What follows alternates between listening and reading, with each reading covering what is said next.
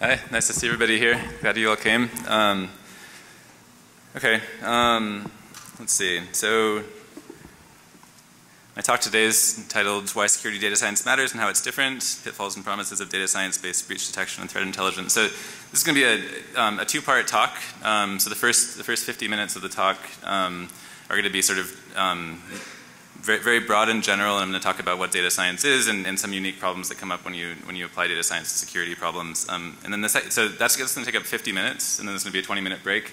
And the second part of the talk, I'm going to talk about some like three different projects that we've done in my group at Invincea. Um, so that's going to be a more technical part of the talk. Um, and I'm going to hopefully inspire you and show you some interesting applications of, of machine learning and data visualization to, to, to computer security problems.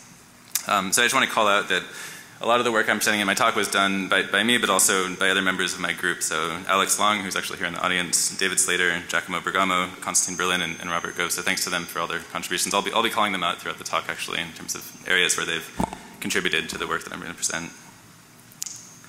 Okay, so just, just quickly to give you some context for like who I am and the organization I work for. So I work for Invincea. Has anybody out there heard of Invincea? Um, sounds like some people. Okay, so, so most people who know Invincea um, think of us as um, you know a commercial computer security company. Um, we also, and that's so the majority of people who work for Invincea work for that side of the company. Um, I work for an organization within Invincea called Invincea Labs that has about 40 researchers um, divided into a few different teams that do different security-related research. Um, my, my, group is eight people. and we, we, we, do machine learning and, and data visualization and, and data storage research applied to security.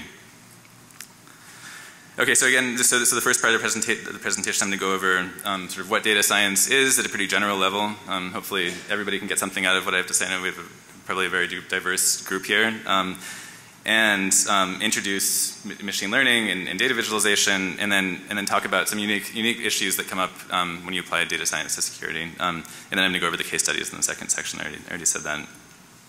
Okay, so let's so we can just get into it. So so what is what is data science? They're, they're really, so at, at, a high level, there, there are three sort of skill areas that you need to be a data scientist. So you, so you need to know how to, you need to, need to know how to store data at scale. Um, so that requires like a, a really know, sort of diverse, knowledge of a diverse set of databases and data storage technologies. Um, you need to know how to analyze data. So um, you need to know about machine learning. You need to know about computational statistics and you know old school statistics. Um, then you need to be able to explain your results to, to others and, and, and also to yourself, right? You need to know how to visualize data. Um, to actually to actually um, yeah explain actually explain um, complex math to, to managers and also to make sense of, of, data sets before you start building models to, to analyze them. Um, there, there's a huge range. So data science is not just a security thing, obviously, right? Um, it's a growing field. It's become a big deal in a lot of different areas. Um, so there have been recent breakthroughs in computer vision using, using data science methods, um, obviously voice recognition, social network analysis, robotics. These are all fields in which people use, um, they have big data storage problems, um, they have machine learning problems, um, and oftentimes there are visualization problems as, as well. Um, so when you do data science and security, you, you, you, benefit from the work that's being done in these other fields as well. Um, there's a lot of applicability of, of work done in, say, in computer vision and natural language processing to computer security data science. so, so in, actually, Let's see, how does this, oh, there we go.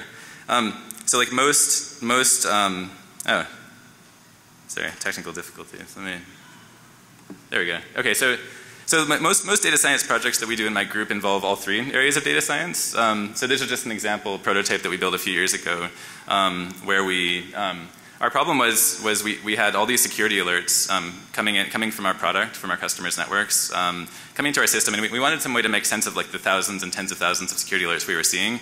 So we were asked to build, we were asked to build a clustering system, um, so a system that identifies similar groups of events. Um, so that an analyst, when they're looking at security alerts, doesn't have to just look at one, one alert at a time, right? But can, can look at groups of alerts that, that share common attributes. Um, so, in, so in this prototype, right, we um, in this visualization, you're seeing um, each one of these balls represents an individual security alert.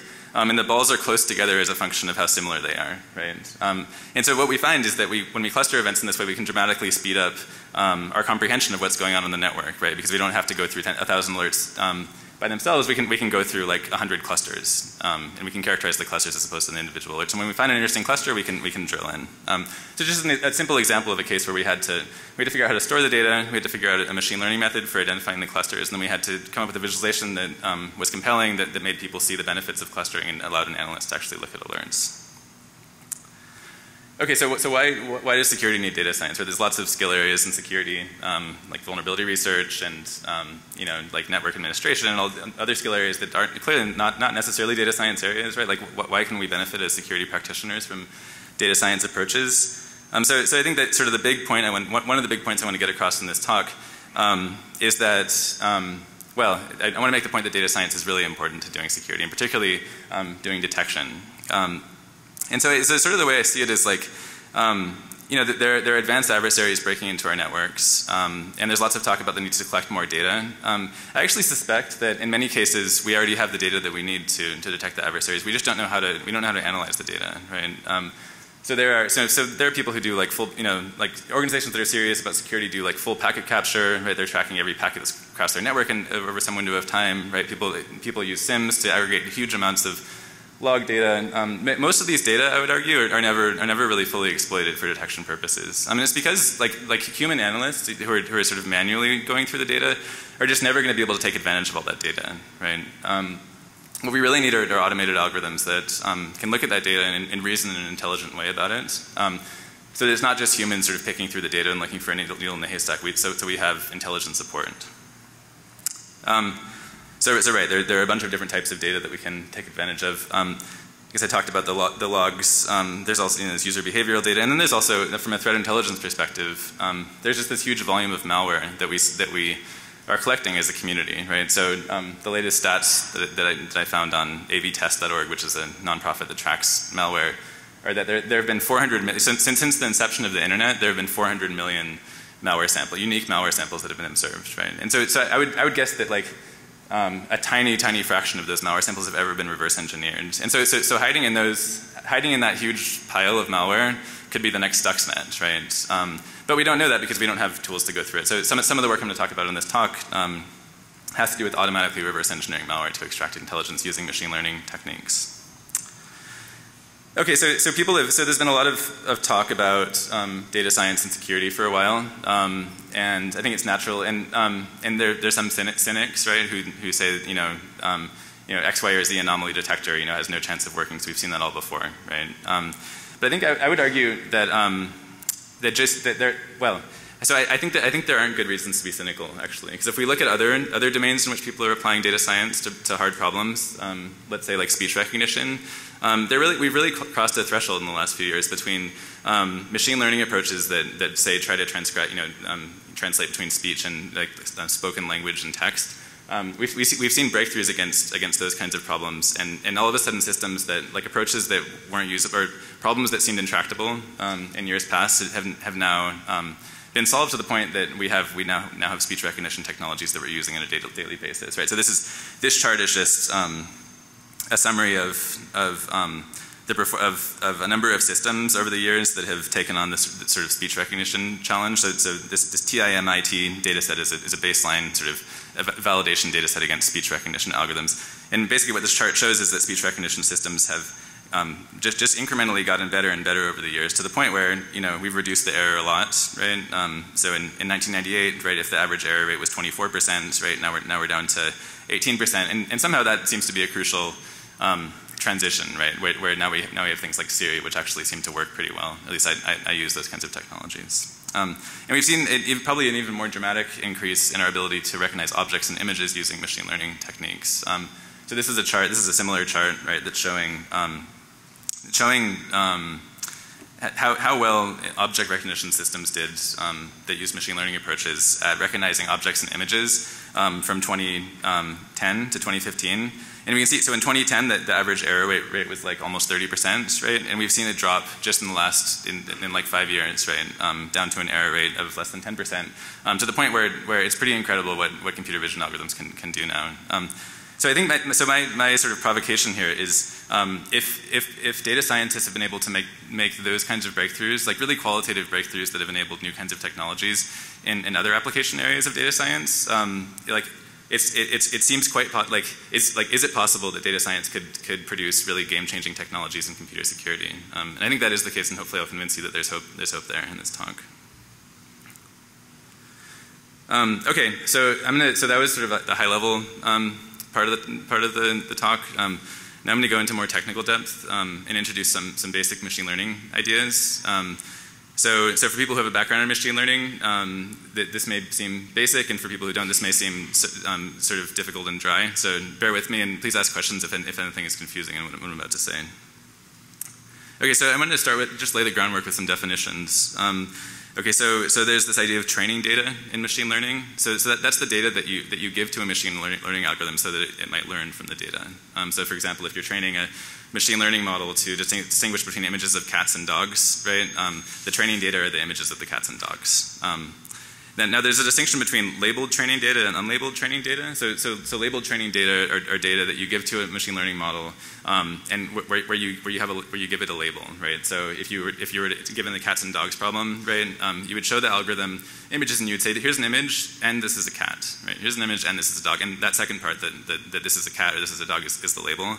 Um, then there are other machine learning algorithms that take unlabeled training data. So, so, these, so in this case, you would, you would, so taking again the cats and dogs analogy, you would show you would show a machine learning model a bunch of images, but maybe you don't know if they're cats and dogs for some reason, right? Um, and it, in any case, you don't you don't tell the machine learning algorithm if they're cats and dogs. You just you just expect it to do something useful with with what it learns, right? Maybe it learns how to maybe it learns what a cat or a dog is on on its own. So th those are that's a more challenging problem, but there are, there are lots of machine learning algorithms that work in that way also. Um, so then there's this idea of, test, of test data. Um, so, so, test data is the data that you show to the machine learning algorithm after you've trained it, um, that you haven't trained it on, um, that you ask it to make some useful inference about, right? So in the cats and dogs example, um, you know, you showed a bunch of cats, showed a bunch of dogs, then you show it some new image and you ask it, is it, a cat or a dog, or is it none of, none of the above, right? Um, and that would be the test data. So, you, so, it's called test data because people use that data to evaluate how well the machine learning system is actually doing um, in terms of its actual learn learning process. Um, so there are two, so I sort of already suggested this, but there, there, are two big categories of machine learning algorithms. There are supervised algorithms that require labeled training data, um, and there are unsupervised algorithms that don't require labeled training data. Um, okay. So, um, so th then there's this idea of a feature space. Um, this is a bit more abstract. So I'm, I'm going to give, I'm going to try to make it concrete and, and give an example. So Suppose, suppose you have like a directory full of malicious files that have been, um, they've been re recovered in some sort of incident, you know, some sort of security incident. And, and so, so, let's say we know they're malicious, um, and we want to analyze them using machine learning. Um, so we would pull out some, so to use machine learning on those files, we would pull out what are called features of those files. And this is a, this is a toy example, so suppose those features are just um, file size and file compression level.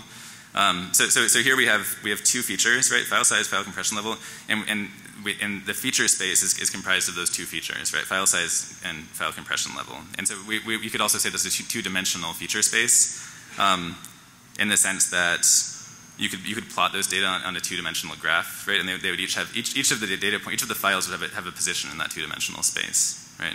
Um, and then once we have that space, right, and it's very useful if you start to do machine learning, you, you immediately start to think in, ge in sort of geometric terms. Um, you can start to think about analyses we can do, right? So pretty clear there, there are two clusters here, right? So we could apply clustering algorithms to identify, oh, there, there are two clusters of data, perhaps these, these malicious files come from two different malware lineages or two different adversary groups, right? Um, so, so, so clustering, so, so why does clustering matter? Um, um, so for example, to, take the example from earlier, right, it, it matters because it reduces the, the, the, workload on the actual analyst, right? It, it, automatically summarizes the data that we're, that we're looking at. Um, there's lots of other applications of, of, of clustering, right? If you, um, if you have, let's say you want to inspect all the network traffic on your network um, in a current day, right, you can, instead of looking at each individual net flow, right, maybe you would cluster, cluster the flows together, right, so that you could summarize them. And basically, like, um, clustering is useful in looking at, looking at large data sets and, and summarizing them and, and, analyzing them more quickly. Um, and I'll be going over some examples of clustering um, that we've done further on in the talk. Okay, um, so sort of similar to clustering is this idea of classification, right? But um, so, so, so clustering is an unsupervised algorithm. You, you, don't need to tell it, you don't need to tell a clustering algorithm um, what, um, what, what kinds of data it's, it's looking at in order to, um, in order to have the clustering algorithm find, identify clusters, right? In the case of classification, um, it is, it is a, are you guys hearing feedback on the mic, by the way? Or is it just me? Yeah? Okay. I'll try moving it. Okay. Everybody still hear me? Well, I can still hear this, the feedback, but okay, I'll just I'll just try to ignore it. Um, okay, so in the case of classification, right? So classification is, is like the example of the cats versus dogs thing, or to make it more security relevant, like mal malware versus benignware, right? So you could train you could train a machine learning classifier that does classification, right, on um, a bunch of malicious files um, and a bunch of benign files and, and, and, and, teach it to recognize the difference, right? So, so in this case, like, you know, if you, if you wanted to distinguish between group, group A, which let's say is from malware family 1, right, and, and group B, which is from malware family 2, um, you would, the, the, task of the class of a classification algorithm, um, in this case, this is called a linear classifier, would be to identify a line, right, through this feature space um, that, that basically gives you a rule for de deciding um, which, which family a new file is from. Um, so if we saw this new red file, right, because it's on this, this side of the, of the line, um, it would, um, it would be classified as from family one, right? That's the basic idea. This all sounds sort of boring. It's going to get more exciting later when I show actual, actual applications of these of these ideas. Um, so so let's look, so, so say we have so let, let, me show you guys an example of like a real world classifier. this is a this is a neural network um, that um it's thanks to Andrej Karpathy, who's a who's a machine learning researcher at Stanford, um, wrote the software. I just I just spun it up and, and trained trained a neural network using his software. So um, basically, if we have a bunch of training points, like let's say let's say these green points and these red points, right? Um, we can we can we can show them to the neural network and ask it to identify a decision boundary such that if, if we saw a new point, it, it could make a decision about which if, if that point should be colored green green or red, right? Um, so in this case, like maybe the data has this sort of circular shape, like you have this this green class and it's sort of in this blob here, and we have this these sort of red points out here.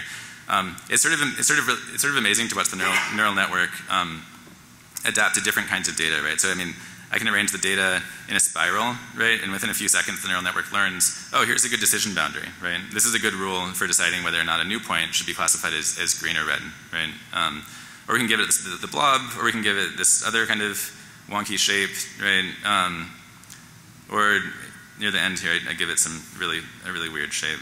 Um, like this kind of thing, right? And then sort of like an amoeba, right? The neural network sort of learns, oh, th this is where in general the sort of green stuff is and this is where the red stuff is. This is all going to be, be, seem much more useful later when I show that we've built out of a neural network a very effective, a very effective malware detector um, that beats antivirus and, and, and is, works at a very low false positive rate. But in a two-dimensional space, this is how a neural network sort of looks.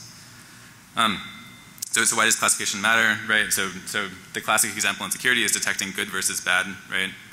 good files versus bad files, right? Good network streams versus bad network streams. Um, there's other cases like like later I'm going to show an example of like an automatic reversing um, example. So detecting like does this malware sample implement screen grabbing, right? That's another kind of classifier you can build using a machine learning method. Then finally there's regression. So regression is about predicting a continuous value. Um, so like the classic example of like the, like probably where if anybody's dealt with regression, probably dealt with it with sort of like time series analysis. Um, you know, so you can, um, so like regression models are used to like predict the stock market, for example. Um, you know, so given, you know, given past performance of Apple stock, like predict Apple's, um, yeah. Okay. Okay. I don't want to talk too loud until it's turned on. Okay. Yeah. Okay. I'll, I'll just keep talking. Um, yeah, so, so, so right, so, so regression is about predicting a continuous value. Um, so often, oftentimes we, we use regression for forecasting. So um, again, like later in the talk, I'm going to talk about a regression model that we built in, in my group at, at Invincea um, to predict like um, for a given malware's, like for um, given a malware family's history, like say to like Zeus or Storm or Citadel's history, any of these sort of like celebrity ma malware families, um, can we predict how many how many examples of like how successful that family will be in the future? Right, that's an example of how, how we can use regression in security. Okay, so so I've been giving these two-dimensional examples, like you know that aren't that are obviously not very useful, like file size versus file compression. In fact, right, like machine learning algorithms work in very high dimensional spaces. Um, so just to just to sort of prime your your minds to thinking about about that. Um, imagine imagine in our file example, right?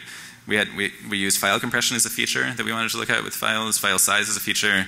Um, but then also wanted to add like the first time the file had been seen, like a timestamp or something along this z-axis, right? Now all of a sudden we have a three-dimensional space, and if we want to learn a decision, decision rule about like whether or not, say, a file is good or bad, or that kind of thing, we'd have to we'd have to identify a plane, right? That would um, that would define a rule that would say, well, if you're on this side of the plane, you know, you're you belong in the blue class, right? If you're if you're on that side of the plane, you belong in the in the red class. Um, so that, so that that gives some intuition about reasoning about three dimensions. In reality, when we build real, real, world machine learning models, we we use millions of dimensions, right? So imagine, so I mean, even like start imagining 10, 10 dimensions, right? And, and, identifying a plane in 10 dimensions that separates two types of data, right?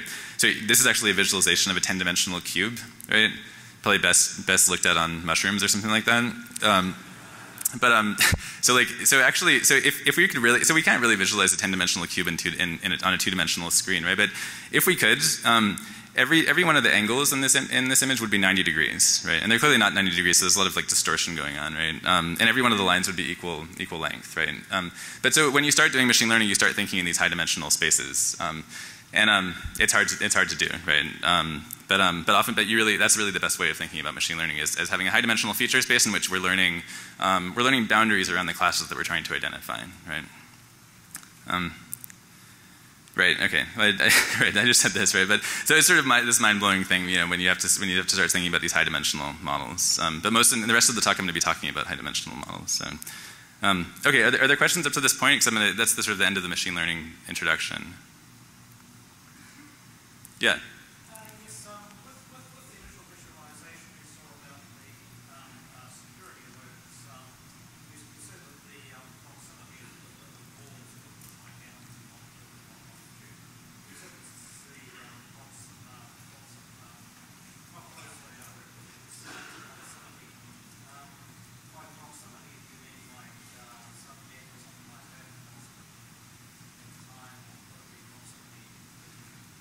Yeah, so, so for that we use an algorithm that, that um, computes the, the similarity between every pair of events and, and then computes this big similarity, so this, it's called a similarity matrix, but, um, and, yeah, yeah, exactly, yeah. Cool. Other questions? Yeah. Yeah, so we use, most of the tools we use in, our, in Oh, oh, thank you, thank you. Um, okay, so, so the question was what tools we're using um, to, to, build the, the, the, experiments that were, or the prototypes that I've shown so far. Um, so, so we use, we use Python, um, we use the sort of scientific computing ecology around Python. So there's, there's a library called sklearn. We learn, use a lot as an open source, it's probably the best, I would say, Python open source machine learning library. Um, and we use D3, JavaScript, those kinds of things to do visualization. Actually, the visualization you saw was in Flash. This was back. This was a couple of years ago. So back when Flash was still a, like a thing. Um, but yeah, so so yeah. Um, but we use whatever we need to and usually. But usually it's um, sort of this, we use we use Python and NumPy, SciPy, sklearn, that kind of thing. Yeah, question.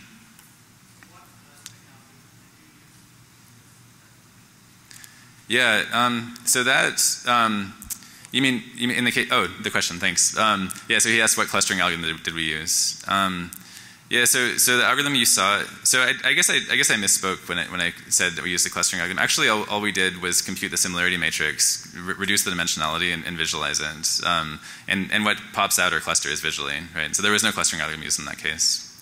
Um, I, yeah, okay. I don't want to, we actually did, I'm sorry, we used, we, we looked for connected components um, in the similarity graph and then we colored them differently to, you know, so, so we could, the clusters would pop out. I should probably, just so I can get through the whole talk, I think I'll keep going, um, and there'll be, there, will be more opportunities for questions later. Okay, so now I'm going to talk a bit about data visualization. Um, um, so first I'll show some examples of data visualization, and then I'll talk about some, some of the theory behind like why data visualization is important. Um, okay, so has anybody seen, anybody seen this visualization before? No? Okay. Does anybody know what this is of, who hasn't seen the visualization before? No? Okay. Um, th this is, so this, this um, visualization, so this, Aaron Koblin is sort of an artist. Um, he's also a, a, good data visualization person. He, so, so he, he got this data from the FAA, I think. Um, and so these are, this is, these are sort of flight, flight path data. Um, so they're like, pair, like latitude and longitude pairs for, for flights on the US. Um, and then he just plotted them on, in a 2D space, right? And what pops out is this interesting structure, right? Um, and so, so immediately I think when you look at the visualization, you get all sorts of stories out of it, right? You can start to think about, well, like where are these hubs, right? Like, like what's going on down here, right? Um, is this San Francisco and LA, right? Um, and you start to, you start to get a sense of what's going on in terms of the flight data that you can never get if you're just looking at a text file, right? Um, I think that's sort of like the big point of visualization, right? Is that um, there's really no other way to make sense of the data other than other than um, finding some some elegant way of, of, throwing it on the screen. It's usually a pretty simple simple way. Um, this is sort of a classic. If anybody's read Edward Tufte's books, right? So maybe some people in the audience have, have seen this visualization before. This is, this is, a, this is a classic visualization that, that tells the story of Napoleon's demise in the early 19th century. Um, so, so this, the basic idea, right, is that um, here was where Napoleon's army started. When Napoleon decided um, you know, he wanted to invade Russia. Um, he, this was the, it, so here's where he started on the map, right? And um, here's the path his army took. And um, the, the, the, thickness of this line um, is in proportion to the number of troops he had. Yeah. Um, so he started out doing he was doing pretty well initially, right? Um, then his army splits off, and some go, go sort of die over here. Um, and then and then the winter comes, and they start dying off, right? And finally he gets to Moscow, right? And like you know his troops have. You know there's an order of magnitude less troops, right? Then he starts beating his retreat, right? And this is this black line. By the time he's back, he's he's screwed. Yeah, like like it's over. You know. Um, and um, you know, so you, you, could. I mean, it's hard. To, it's hard to find another way of communicating that story, right? I mean, you could write it. You could write a history book about it. Um, but um, it, this is a very good. This is a, this is a classic example of visualization, right? Where you tell a complex story um, using very intelligently chosen sort of visual attributes. Um, then there are visualizations that, you know, so visualizations don't have to be static, right? So there are visualizations that include, has anybody seen this before? This, this is Gource, right? So this is a this is a visualization of the evolution of the Python interpreter um, starting in the early 90s. And so what you're seeing are, are different developers moving around and adding, adding files to the, the Python sort, you know, the, the, the, the, file hierarchy, right, in Python. And um, this is another example of like telling, telling a really, telling um, a complicated story, right, using, using an elegant visualization. Um, so, you're, so you're seeing, you're seeing the sort of the birth of Python and you can, you can keep watching, right, and, and you can see all the way up to the present. Okay, so, so what, why is, why is visual, so from, from, a more theoretical perspective, why is, why is visualization good? Um, so, so it has to do with, it really has to do with the data processing capabilities of, of the human visual cortex. And there's been a bunch of research on, on this that I'm not an expert in, but I, hopefully I know enough to, to talk about in this talk. Um, so, so if you look at these panels here, right, um, I think hope, hopefully you guys all have the same experience that I do, which is that the anomalies pop out right, away, right? So if I so if I look at this panel, right, I immediately see that there's there's one one data point that's different, right? And it doesn't feel um, even looking at, looking at these small panels, like for me it's pretty clear. I'm not doing like a brute force like linear search, right, to identify the anomaly, um, which is what maybe like a, a traditional like per, like computer algorithm would do, right, which is like iterate over all the items and, and try to figure out which one is different. I mean, the, the visual cortex processes in parallel, right, and and if you present data in the right way, um, like complex patterns pop out. Um, and so that may be less obvious in, in this in this example. Um, if you look at something that's more complicated like this, um, I mean, I think you can really see it, right? I mean, if you, like, if you imagine, like, hopefully everybody sees the square over here, right? Um, popping out.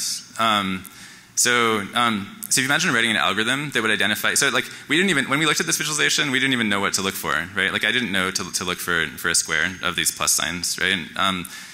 Um, my brain was operating in an unsupervised way, right? It was just looking for interesting structures, and, and within within probably less than a second, right, that that, that structure popped out. Imagine writing, an, imagine trying to program a computer to identify interesting structures. Um, it would be a very hard programming task, right? But fortunately, we have our visual system which does it automatically, like, and we so we, we call that pre-attentive reasoning. It's, it's before our, our, like sort of higher order cognition even sort of kicks in, right? We we recognize those kinds of patterns.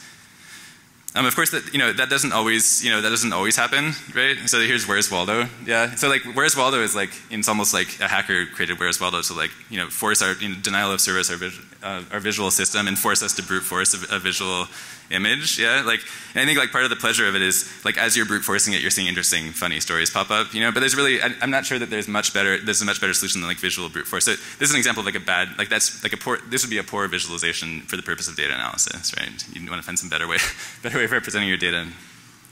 Um, okay. So there, there's like some design principles that go into into visualization. Um, so um, the advisor of one of the guys in my group, Robert Gove, um, has a mantra. It says overview first, uh, details and demand. This is Ben Shneiderman at University of Maryland. Um, the basic idea there, right, is when you design a visualization, like in the case of, I keep going back to this example, there'll be different examples later, but, um, you know, of the, the clustering visualization, um, you know, we give an overview, we show all the clusters on the screen, right, um, and then when, when, you move your mouse over one of the alerts, you, you, get some details, right? So it's, it's, it's useful, so people find that useful, basically, um, when, we, when you do user studies and stuff like that. Um, okay, and then you know, so visualization should either answer specific questions, right? Like you should be able to, you know, quickly tell somebody like what's what's the trend in like my stock portfolio over the last day, right? And be able to like really efficiently and like specifically answer that question. Or if you're going to make an exploratory visualization, like that should be the clear goal, right? And you should you should make sure that you're actually facilitating it because a lot of times people people do something in between, right, where they're not really sure what what the goals of the visualization are, and I think people then um, take the visualization less seriously. Um, it's important to design with the user in mind, right? So we found this with a lot of our work. So we, you know, my company is a research company. We're, you know, a group of um, uh, researchers who are, are, somewhat disconnected from practitioners sometimes. Um, so, so what we found is we need to go out and actually interview the people who are going to be using our tools, understand what their needs are, right, and then go back and like be very disciplined about designing the tool with those with those people's needs in mind and their skills their skills in mind. So like the visualization you would design for a, a, doctor around like what's going on on a hospital floor, right? Which is probably very different than the visualization you design for a nurse's aide or, um, that kind of thing, right? In the security space, right? What, what you design for a malware reverse engineer is different than what you design for like an IT security administrator. Okay, um, any, any questions about the visualization stuff? Okay, and, and oh yeah, please, I will repeat your question, yeah.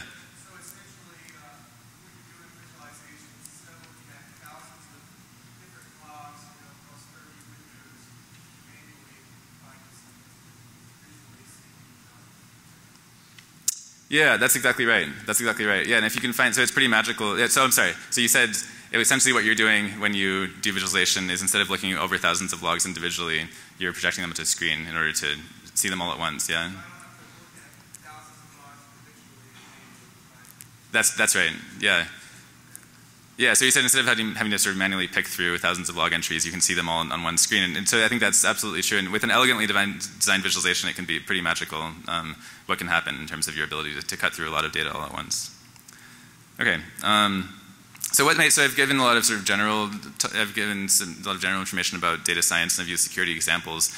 Um, but there, there are really some fundamental, but there are some fundamental differences between the way that you do data science um, in general, like the way that statisticians are, are trained or, or, computer scientists are trained to do machine learning, um, um, and the, the, way that we have to do data science when we do security. Um, and so I'm, I'm going to make an argument for what I think those differences are and, and what some what some potential solutions are.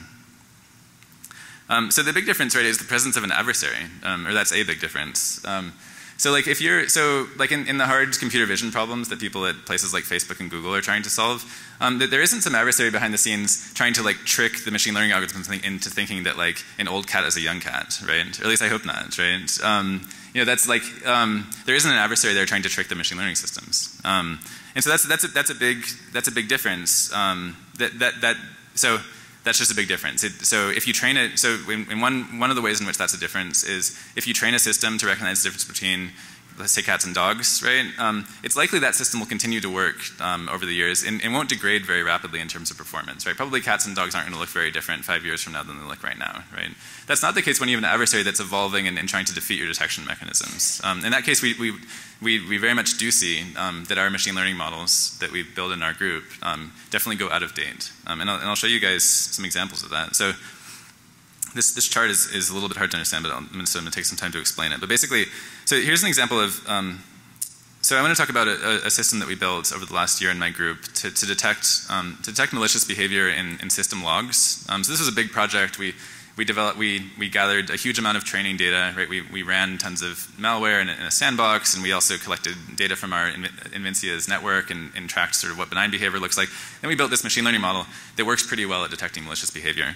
Um, but then what we found, and so, so here, here are our results, right? So um, at sort of year zero in, in using this model, so, um, and I can go into more detail about how we did this evaluation if people are interested, but basically the idea is, so at year zero, when we trained the model on, on examples of malware and then examples of benign um, behavior, um, we were able to detect, so this is the detection rate on the y-axis, um, and this is the false positive rate um, on the x-axis.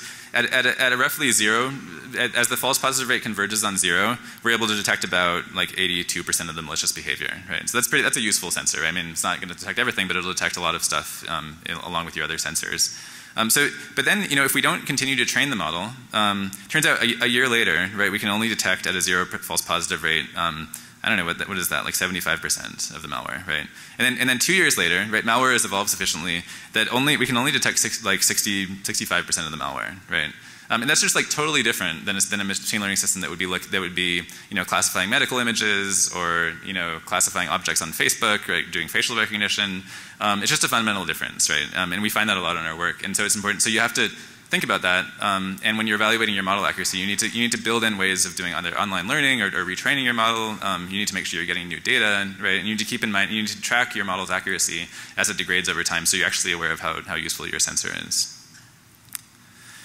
Um, so here's so here's another problem that comes up in that people are surprised by when they start applying machine learning to security if they've come from another field, right? So it's the, the false positive problem. Um, and so, so really the issue here is that the events that we're looking for, and so, so, so networks certainly get breached all the time, right? Like breaches are common, like there's a lot of malware out there. Um, but when it comes to like the data we look at on a network, um, let's say like let's say we're looking at all of the executables on a network or something like that.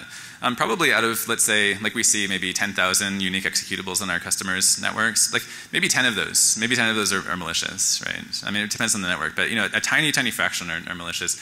Um, so so the implications of that are that if you have a system that say like for every benign binary that it sees, like one in a thousand times, um, it's going to falsely flag it as malicious I mean, if there are 10,000 benign binaries, right, you're going to get um, you're going to get 10 false positives, right, on those. Uh, you know, if, if you're if you have a one in thousand false positive rate, um, and then you know, depending on your detection rate, right, that, so that'll be 10, 10 false positives, and if you only have 10 malicious binaries and you're only detecting 80% of them, you're actually going to get more false positives um, than you are true positives in that case, right? Um, even though you're, you're, even though statistically your sensor is very, very accurate, right? It's a one in a thousand false positive rate.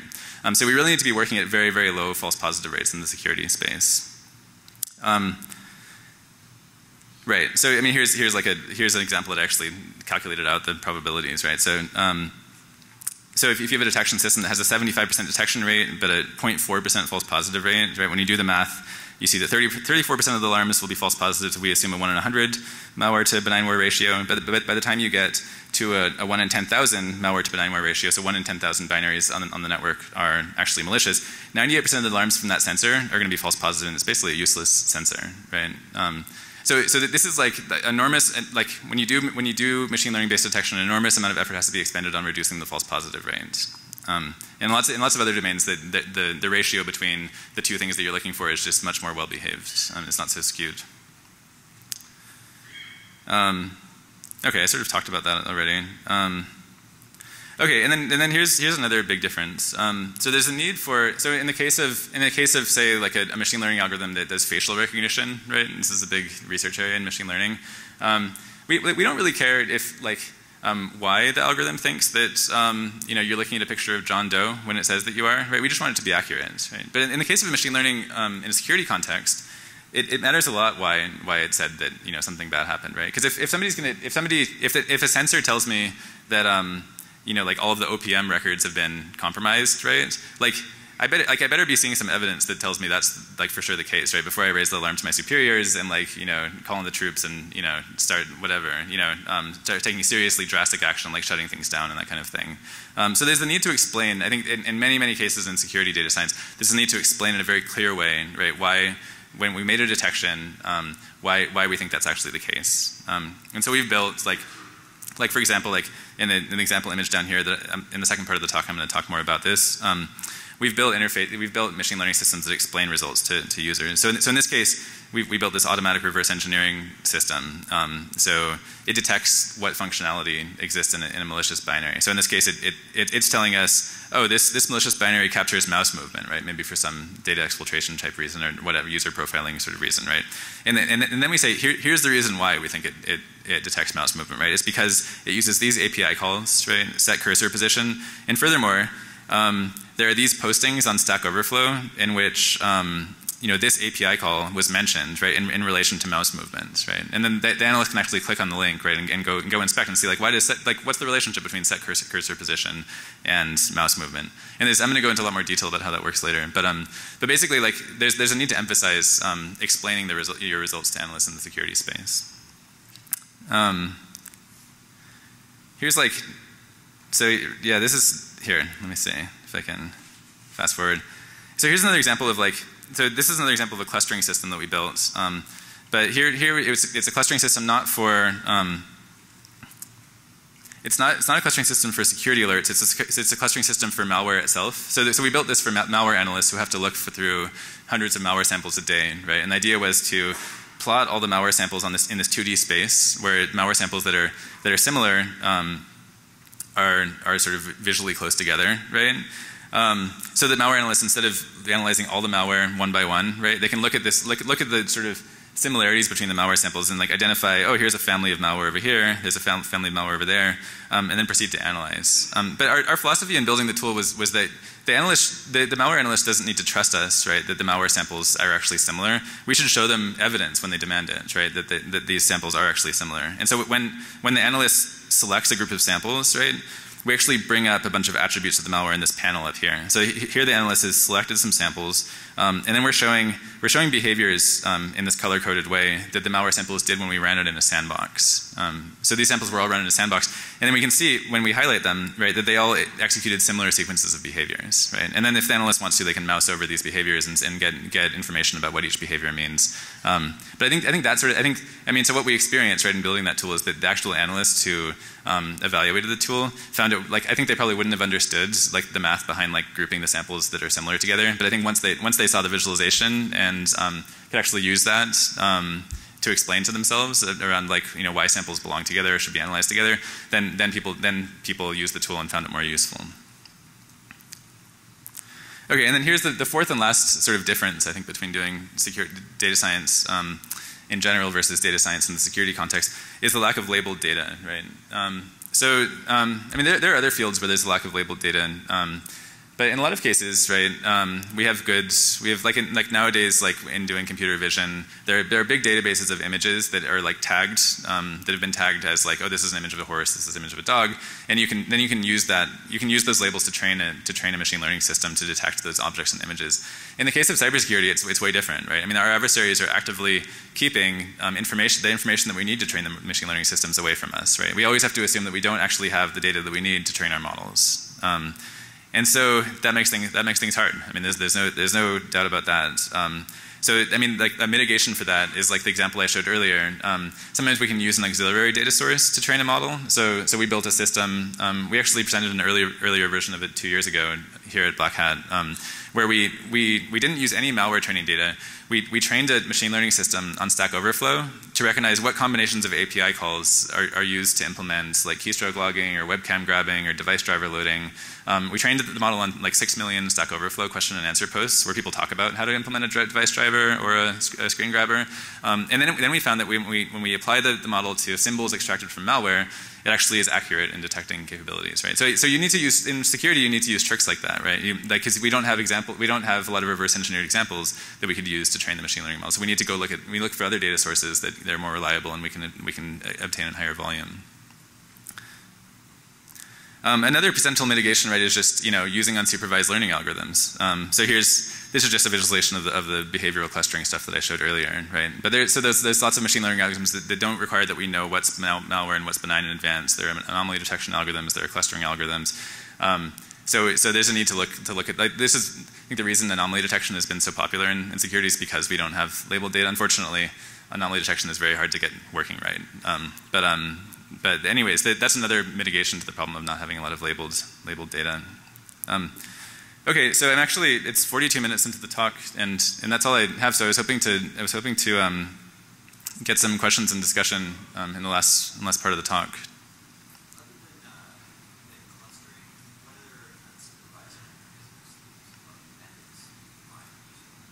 Yeah, so the question was, other than clustering, what other unsupervised learning methods are, are useful? Um, yeah, so um, so we find um, so clustering is important. Um, there's also there's a class of algorithms called dimensionality reduction algorithms that take a high dimensional space, right, and try to and you know then try to learn some task like pre preserve. So in mathematical terms, it's you know, preserving pairwise distances, so preserving distances between items in the high dimensional space and this lower dimensional space. Um, so we found actually in a lot in some of the projects I showed, we were using techniques like that, like in the um, in the video I showed. Uh, Right. So I mean, so here we used a dimension. We, we, used a dimensionality reduction technique to take data. So we had so actually each one of those behavior, those color coded behaviors um, forms a dimension um, in terms of this this analysis. Um, and, um, and, it winds up being some unbounded number of dimensions, like you know potentially millions of dimensions. We, we use an algorithm called principal component analysis to to project um, that data down onto a two dimensional surface, and it's still it's sort of I don't know. It, it's sort of like the shadow of the high dimensional space. So, so the stuff that's that's close together in this million dimensional space, right, winds up close together in two dimensional space. And then you can visualize it, right? And it turns out to be that's often very. We found that to be very useful, right? And like the, in this case, it was very useful because the stuff that winds up close together actually turns out to be very similar. Um, so that I would I would recommend that. Um, yeah, and yeah, I'll leave it at that. Yeah, because there's other questions. Please go ahead. Yeah. Yeah.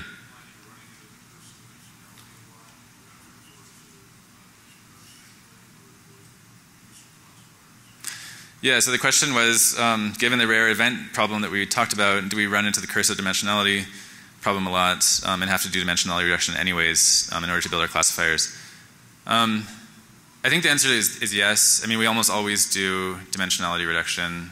Um, there's some algorithms that we use, so this is so this is somewhat technical, but we, you know, some, like there are algorithms like random forest that actually don't suffer from the curse of dimensionality that we found very useful. Um, but yeah, I mean, dimensionality reduction is, is almost always a key part of our workflow. So yeah. Um, other questions? Oh yeah, please.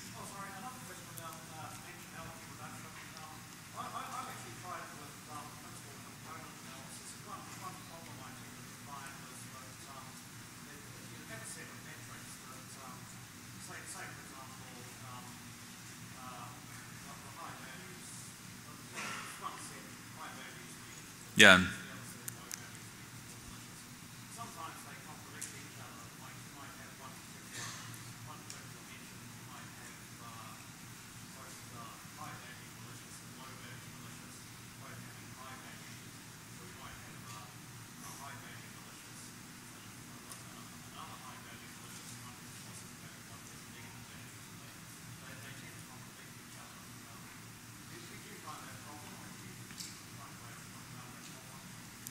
Um, I'm gonna have a hard time summarizing your question. um, so, and, and, I'm not sure I totally get what you're saying. Maybe let's talk afterwards. Yeah. Um, okay. I, yeah, I'm sure we can probably get to the bottom of it. But, um, okay. Yeah. Uh, yeah.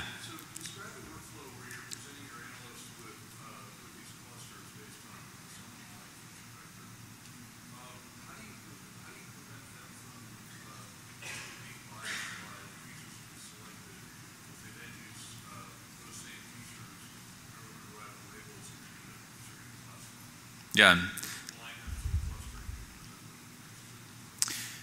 Yeah. Okay. So the question was, how, how do we prevent pre prevent some sort of confirmation bias in the analysis, where you know we're showing the analyst features that we use to group things together, um, but like, I mean, of course they're grouped together based on those features because I mean that's how the math works. Doesn't mean they're necessarily sort of semantically similar. Um, yeah, so we we solved that problem by using a validation set. So um, so we actually so like for for the system on this slide, right? We had um, a bunch of we had some malware that was labeled, um, and we measured ourselves. We measured how good our system was based on how well we reconstruct the similar the actual the true similarity relationships. You know, given the ground truth that we had. So.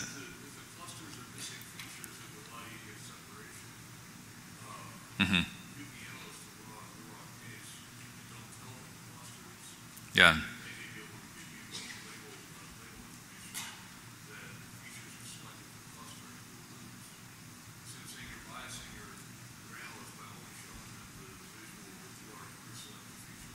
Yeah. That makes sense. Yeah. Um, so he's making the point that um, even with a validation set, we may be still biasing the analyst um, because, well, we should talk, let's talk about this after, yeah. Okay. Um, I also want to, before everybody leaves, I also want to say, I hope people will stick around for the next part of the talk, which will describe in, in detail um, a detection model we built and how we evaluate using deep neural networks, um, a, a, regression model we built to predict um, the future success of given malware families, and, um, and a, a, conglomeration of visualization tools and analysis tools that automatically reverse engineer malware. So, okay, that's just a pitch for the next section of the talk after this 20 minute break. Please, uh, there's a question with the guy at the mic, or, yeah. I think maybe either yell or maybe you have to turn it on or something. Okay. So, uh, you mentioned earlier about visualizations for different roles. Yeah.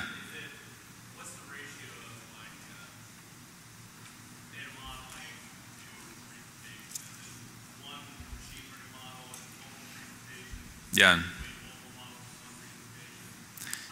Yeah, so the question was about the ratio in terms of our effort um, between the sort of the analytics and machine learning and, and visualization. Uh, so it's dependent on the project. So so we just did the so one of the things I'm going to present about in this next part is on deep neural networks. There we did we the only visualization we did my, part, the colleague and I who I did the project with um, was just for our own edification. You know, so we visualized the neurons in the network and all this stuff. But those are like that we would never present them to anybody but ourselves. They were very ugly and not very explanatory to anybody unless their head was in the problem.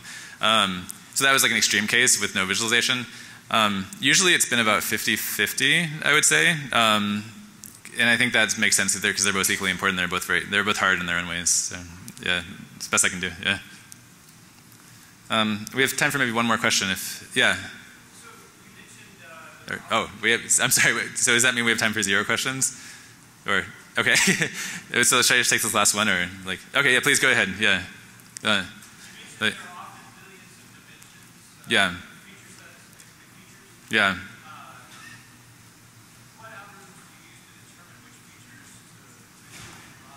Yeah, that's a great question. So the question was, how do we choose which features to include in our model? So sometimes, so there's multiple ways of approaching this, right? Um, one is you keep all your features around, but you use an algorithm to transform the high dimensional space into a lower dimensional space. Um, in that case, you don't throw out any features. Um, that's like somebody mentioned principal component analysis. That's a way of doing that. That has there's there are reasons why that is hard when you have a lot of data, but um, anyways, th that's one approach. And then, and then another is, yeah, you select features based on, so one, you can do it statistically, right? And so we, uh, like we, at work, we have lots of debates over how we should do this, right? So you can do it statistically based on how correlated your, um, this idea of how correlated your features are with your target variable, right? So if like, I mean, sort of intuitively, um, I, I, should probably talk, stop talking. Um, so, so, I'll just wrap this up really quickly. So, sort of intuitively, I mean, it's obvious if like a malware has like a, if a malware is unsigned, right? Like there's no digital signature, that's suspicious, right? But like statistically speaking, like that's semantically suspicious. But statistically speaking, um, maybe that's correlated with with the with it being malware, right? And so we, so sometimes we use, um, so we, so you can use simple methods for detecting that correlation and filtering based on that. Sometimes you want to do higher order approaches and stuff like that, but that's hopefully it gives you some sense of how we do it. So, so maybe so.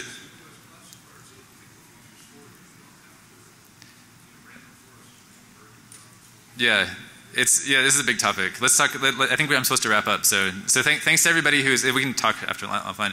Um, thanks to everybody who came. I hope you guys come back for the next session. So thanks.